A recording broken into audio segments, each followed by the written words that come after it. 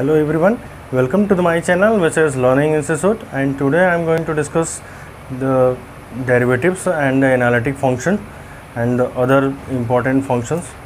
So let's start the video. So derivatives तो analytic function हमारा main जो course में है थर्ड ईयर के तो उससे पहले हम डेरिवेटिव्स डिफाइन करेंगे और उसी के बेसिस पे हम एनालिटिक फ़ंक्शन को फिर डिफाइन करेंगे तो स्टार्ट करते हैं derivatives if a function f z is single valued ऐसा कोई फ़ंक्शन हो जो सिंगल वैल्यू देता हो in a domain D then the derivative of f z at z equal to a derivative of f z at z equal to a is denoted by f dash a and is defined as f dash a equal to limit S tend to zero f of a plus h minus f of a upon h so this is the definition of derivatives तो अगर कोई function जो कि एक single valued function हो और उसका derivative किसी point z equal to a पे एफ़ डैश ए के द्वारा डिनोट होता है और उसको हम डिफाइन कर सकते हैं इस तरह से। H tending to zero f of a plus h minus f of a upon h provided that the limit is exist तो कंडीशन यह है कि लिमिट की मान आने चाहिए लिमिट एग्जिस्ट होना करना चाहिए and is independent of the path along which h tending to zero जो ये एच है वो किस पाथ के थ्रू होगा, उससे वो इंडिपेंडेंट हो। In this case we also see that f z is differentiable at z equal to a तो अगर ऐसा होगा तो हम बोलेंगे कि जो जेड होगा वो डिफ्रेंसीबल होगा at z equal to a तो ये पूरा डेफिनेशन था एक तरह से डेरिवेटिव्स का, कि जो फ़ंक्शन एफ़ जेड है, वो डेरिवेटिव किसी point z equal to a पे तभी कहलाएगा जब वो f dash a equal to कुछ इसकी वैल्यू आए उसकी लिमिट एग्जिस्ट करें तो हम कहेंगे कि जो एफ़ जेड है वो डिफरेंशियबल है at point z equal to a एक रिमार्क हम यहाँ डिस्कस करेंगे। Differentiability implies continuity but the converse is not true मतलब यह है कि डिफरेंशिबिलिटी कॉन्टीन्यूटी को बताता है। हर डिफरेंशियल फ़ंक्शन कंटिन्यूस ज़रूर होगा बट उसका जो कन्वर्स है, वो ट्रू नहीं होता, वो हमेशा सही नहीं होता। तो हर डिफरेंशियबल फ़ंक्शन कॉन्टीन्यूस ज़रूर होता है, लेकिन हर कंटिन्यूस डिफरेंशियल हो, ऐसा ज़रूरी नहीं है। तो ये काफ़ी इंपॉर्टेंट लाइन थी कि हर डिफरेंशियबल फ़ंक्शन हमेशा कंटिन्यूस होता है, लेकिन हर कंटिन्यूस डिफरेंशियबल होना ज़रूरी नहीं है। तो अगर कभी हमें शो करने को आता है कि कोई फ़ंक्शन गिवन है और उसकी डिफरेंशियबिलिटी और कंटिन्यूटी चेक करना है तो अगर हम डिफरेंशियबिलिटी केवल चेक कर लें तो कंटिन्यूटी अपने आप चेक हो जाती है। लेकिन अगर कॉन्टीन्यूटी चेक करना है और डिफरेंशियबिलिटी तो सिर्फ़ कॉन्टीन्यूटी चेक करके डिफरेंशियबिलिटी को नहीं बता सकते। अब इसके बाद हम शुरू कर रहे हैं एनालिटिक फ़ंक्शन जो सिलेबस में है। तो analytic function a function f z is set to be analytic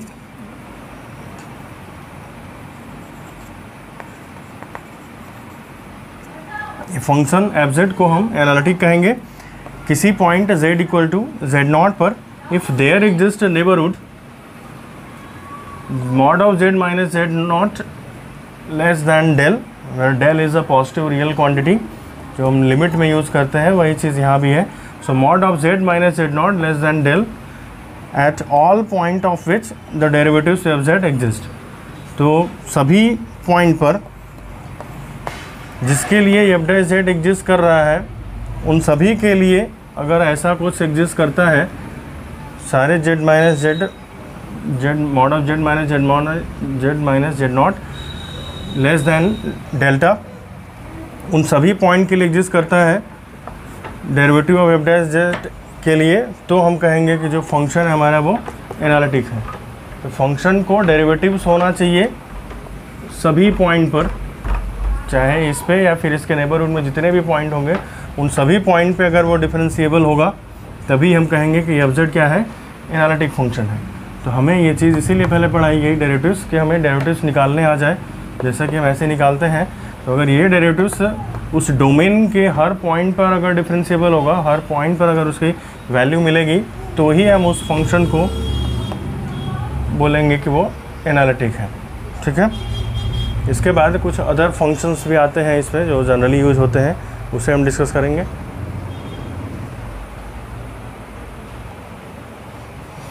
तो यहाँ हम C R equation Cauchy Riemann equation को डिस्कस करने जा रहे हैं तो ये इक्वेशन काफ़ी इंपॉर्टेंट है किसी फ़ंक्शन के एनालिटिक होने के लिए, इसकी नेसेसरी कंडीशन भी पढ़ते हैं और इसकी सफिशियंट कंडीशन भी। इसका डेरिवेशन हम नेक्स्ट लेक्चर में करेंगे। फ़िलहाल हम जानते हैं कि ये बेसिक चीज़ें हैं क्या डिफिनीशन वगैरह। सो चलिए स्टार्ट करते हैं। सो कॉची और रिमान दोनों लोगों ने मिल के एक कंडीशन दिया था कि किसी भी फ़ंक्शन के एनालिटिक होने के लिए क्या ज़रूरी होगा। So a necessary condition for a function which is f z इसको हम ओमेगा से डिनोट कर रहे हैं, ये एक कॉम्प्लेक्स फ़ंक्शन है।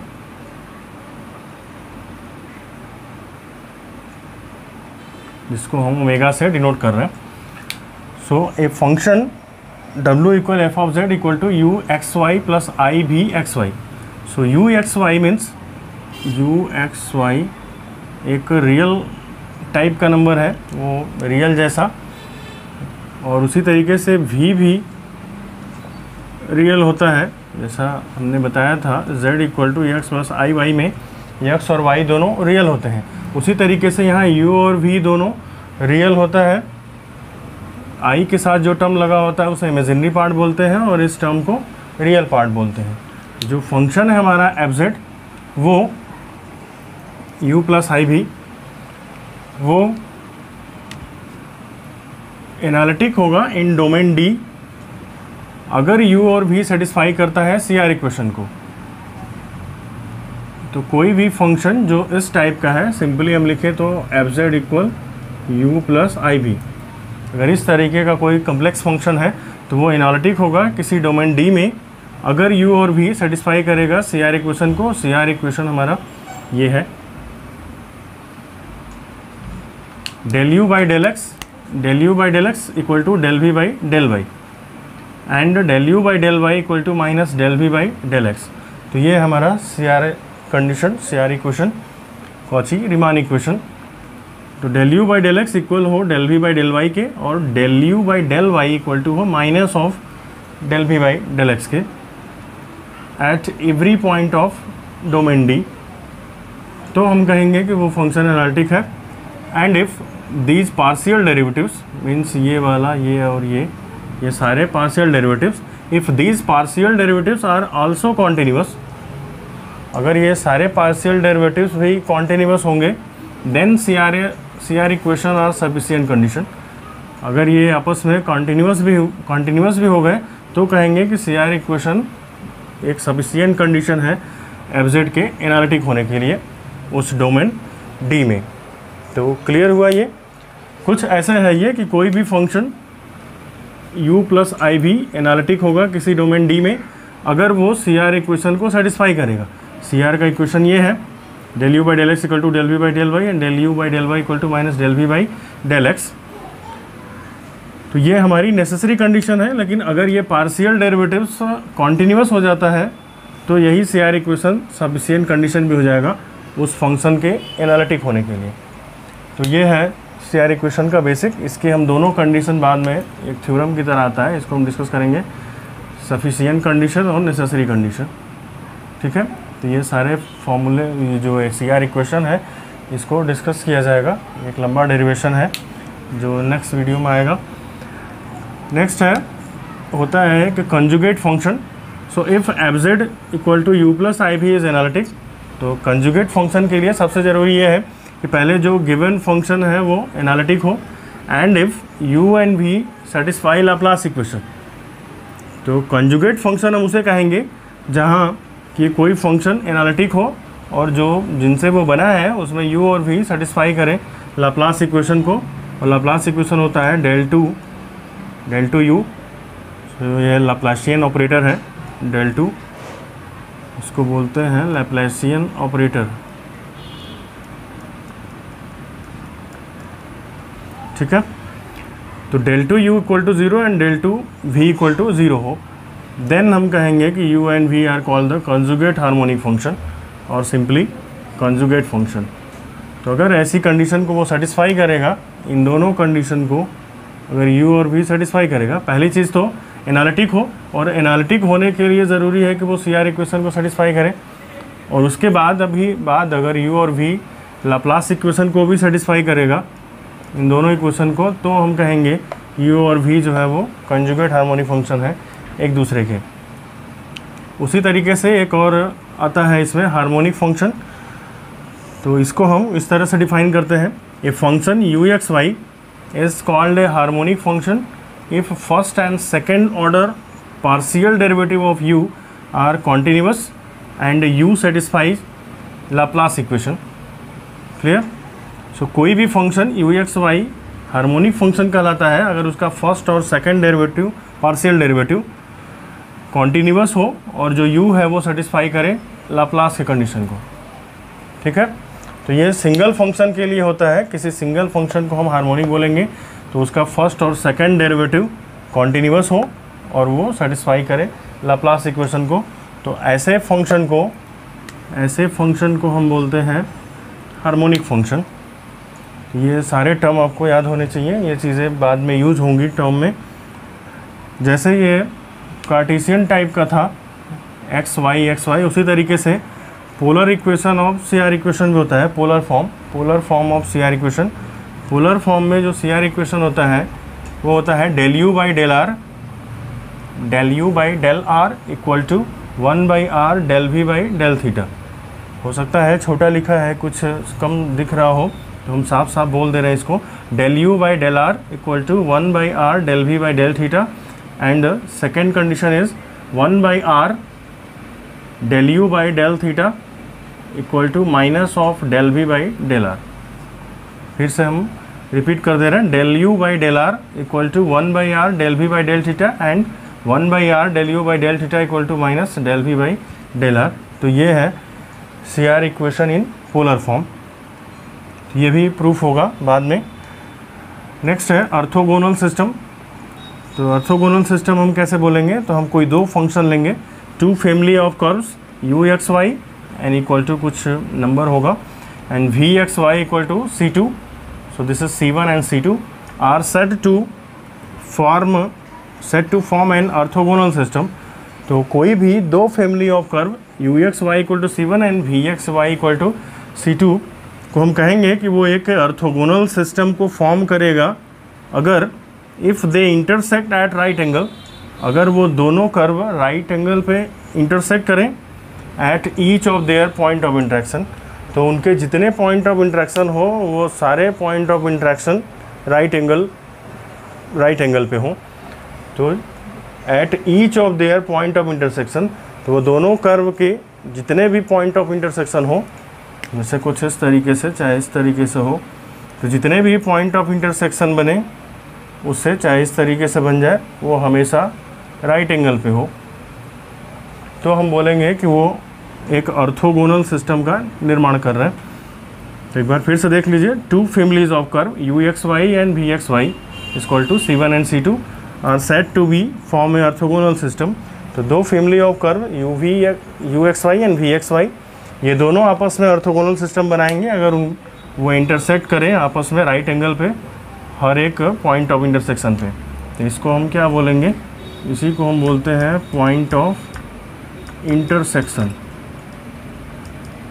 इस पॉइंट को, चाहे इस पॉइंट को, अगर हम इसको मान लें कि ये यू एक्स वाई है और ये वाला वी एक्स वाई है तो ये हमारा पॉइंट ऑफ़ इंटरेक्शन हुआ।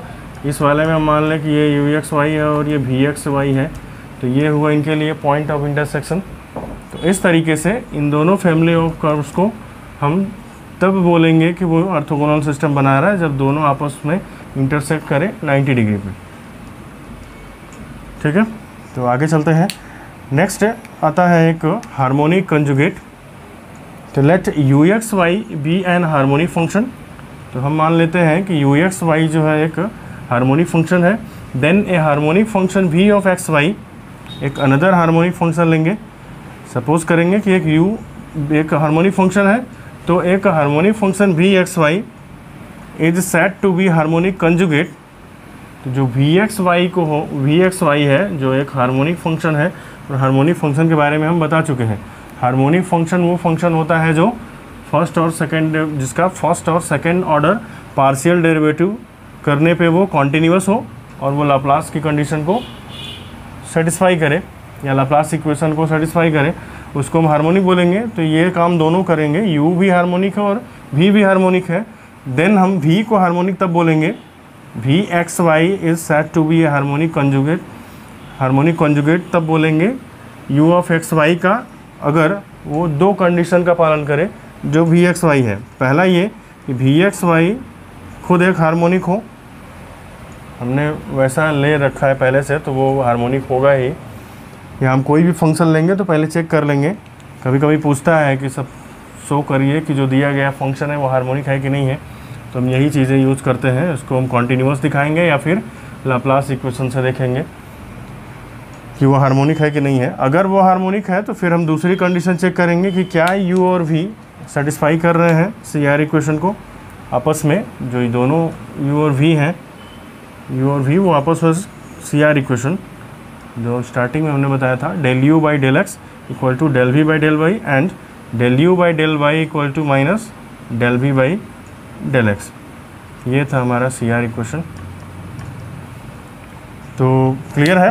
हार्मोनिक कॉन्जुगेट तब कहेंगे किसी भी फ़ंक्शन को किसी दूसरे फ़ंक्शन के रिस्पेक्ट में, जब वो खुद हार्मोनिक हो और दूसरा वो दोनों फ़ंक्शन सी आर इक्वेशन को सेटिस्फाई करें। तो ये सारे जो बेसिक टर्म्स हैं ये सारे बेसिक टर्म्स आपको एकदम याद होने चाहिए क्योंकि इनकी इस टर्म को हम बाद में यूज़ करेंगे जब थ्योरी डिस्कशन में आएगी और ज़्यादा और जब प्रूफ वगैरह होगा और सारा डिटेल में जब हम पढ़ेंगे। तो इसके बाद नेक्स्ट वीडियो में हम लोग पढ़ेंगे इसके नेसेसरी कंडीशन के बारे में कि कैसे हम इस कंडीशन को लाते हैं किस तरीके से। सो so, आज के लिए सिर्फ़ इतना ही। Thanks for watching video thank you